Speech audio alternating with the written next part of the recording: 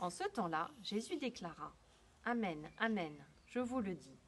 Celui qui entre dans l'enclos des brebis sans passer par la porte, mais qui escalade par un autre endroit, celui-là est un voleur et un bandit.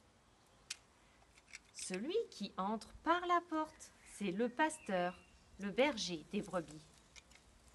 Le portier lui ouvre et les brebis écoutent sa voix. Ses brebis à lui, il les appelle chacune par son nom et il les fait sortir. Quand il a poussé dehors toutes les siennes, il marche à leur tête et les brebis le suivent, car elles connaissent sa voix. Jamais elles ne suivront un étranger, mais elles s'enfuiront loin de lui, car elles ne connaissent pas la voix des étrangers.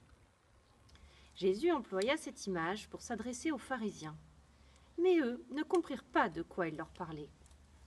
C'est pourquoi Jésus reprit la parole. Amen, amen, je vous le dis, moi je suis la porte des brebis. Tous ceux qui sont venus avant moi sont des voleurs et des bandits, mais les brebis ne les ont pas écoutés. Moi, je suis la porte. Si quelqu'un entre par moi, il sera sauvé. Il pourra entrer. Il pourra sortir et trouver un pâturage. Le voleur ne vient que pour voler, égorger, faire périr. Moi, je suis venu pour que les brebis aient la vie, la vie en abondance. Acclamons la parole de Dieu. Louange à toi, Seigneur Jésus.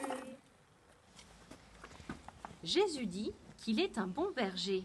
Mais qui sont ces brebis? Nous. Que fait Jésus pour nous?